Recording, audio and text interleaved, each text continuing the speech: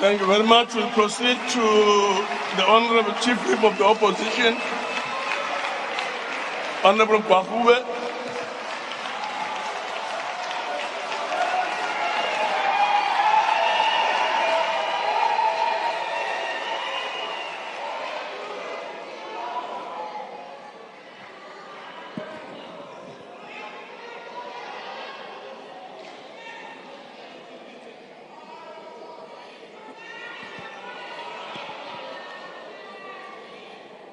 Speaker and the chairperson of the NCOP, it would be amiss of me to not express deep disappointment following the events of Thursday night in this chamber. We could never justify the disruption of the business of parliament to the point where the sergeant at arms is called to wrestle MPs off the stage. Equally, please listen. Equally, and perhaps more crucially, we cannot have a presiding officer who fails to keep the House in order despite being empowered by the rules to do so. And the failures of the presiding officers resulting in armed security forces on the floor of parliament. This chamber is a separate arm of state with its own security personnel who do not report to the executive. Armed guards are barred from this house unless there's a threat to life. The case that the DA brought before the Constitutional Court confirms this crucial principle of the separation of powers. The scenes that we saw on Thursday night should never be repeated. That violence, that chaos has absolutely no place in a constitutional democracy. We cannot allow Parliament to degenerate in that matter.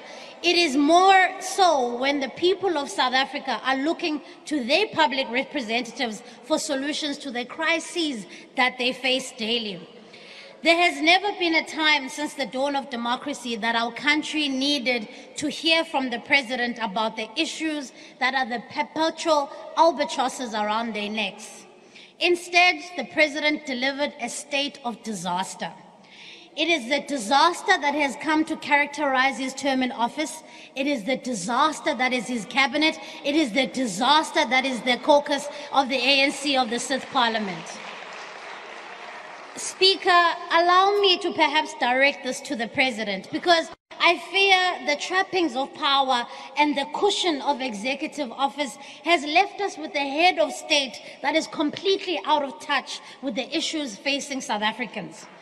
Sir, people are forced to make choices that are perhaps beyond your grasp. A choice between a meal or a taxi fare. Umbane okanye ukhwelisa abantwana baye esikolweni.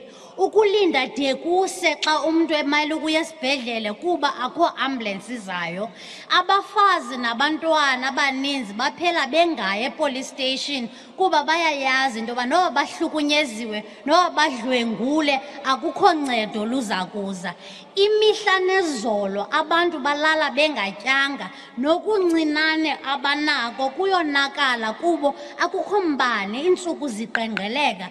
Young people are without work. They have no hope. All they have is a life of indignity because of joblessness umbutho we-ANC uzimisele uba ngohlohle zabo. Umbutho ongakwazi ongakwazi ukuba imali ebekelwe abantu ngexesha likabhubhane we-COVID-19 amakhomrade ayetshintshiselana ekhuphisana ngokutya imali yabantu. Upremier Dube apha upremier Dube Ncube ebezozingomba isifuba apha kodwa abantu baseThekwini sithetha nje badada enyonywini inkonzo aziyi ebantwini. Njengomntu omtsha ndicela nimamele njengomntu omtsha okhokela njengomntu omtsha okhokela noko kudala nina nisedabini ndiye ndizibuze into yoba nonelisekile na yimeko yabantu basemzantsi afrika anda urhulumente wele ANC nditsho nditsho qho ukuba nitsho qho ukuba nanilwele inkululeko yesi sizwe kodwa ngokuqinisekileyo ngoku seningabacinezeli babantu abamnyama abangathathi ntweni. Abazali bethu bathemba iingcuka ezombethe ifele legusha apha ngani. I have no doubt in my mind that the founders of your organization, who are towering figures in our history books, can no longer recognize their party under this current crop of leaders. You have brought this country to its knees, you have nailed the coffin, and created a nation in disaster.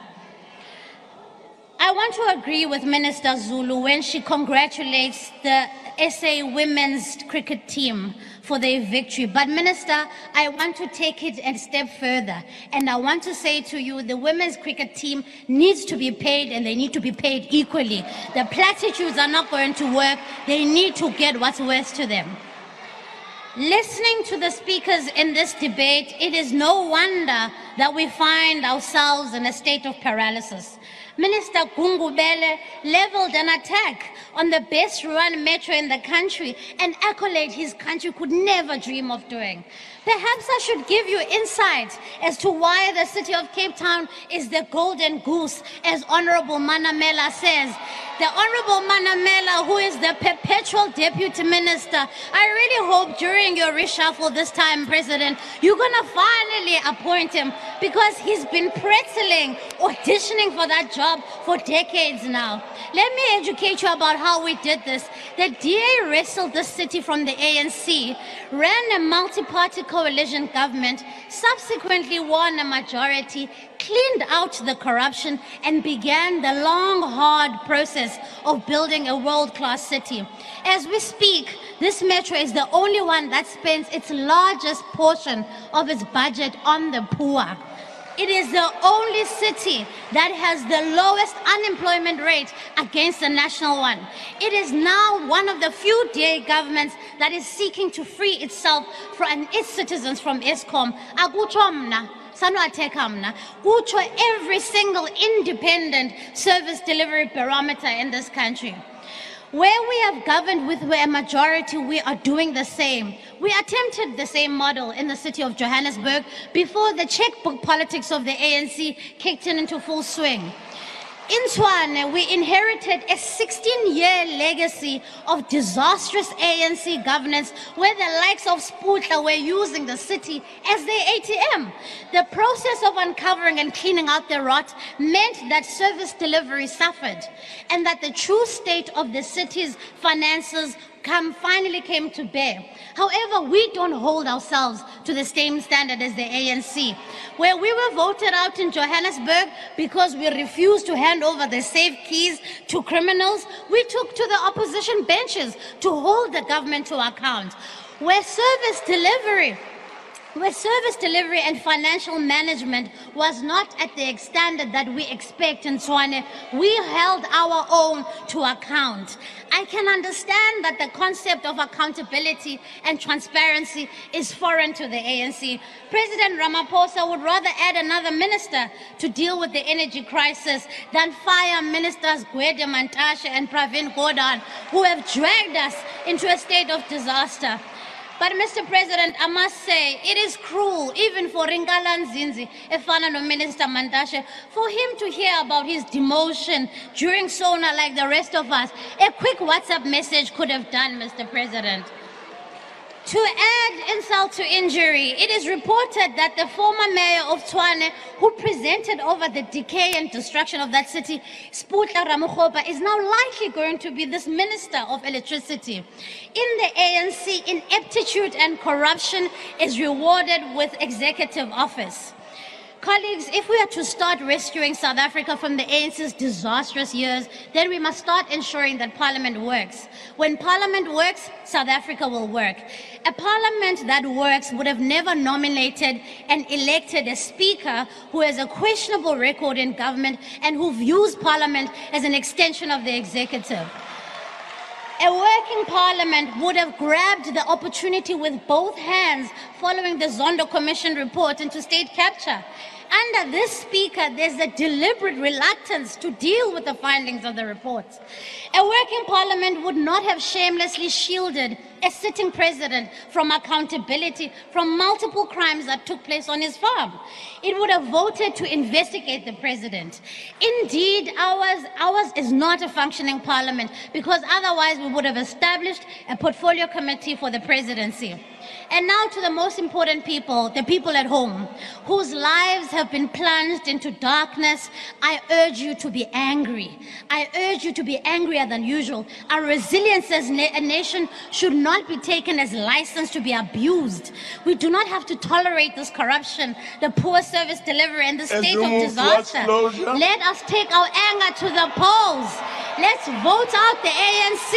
Let's vote them out.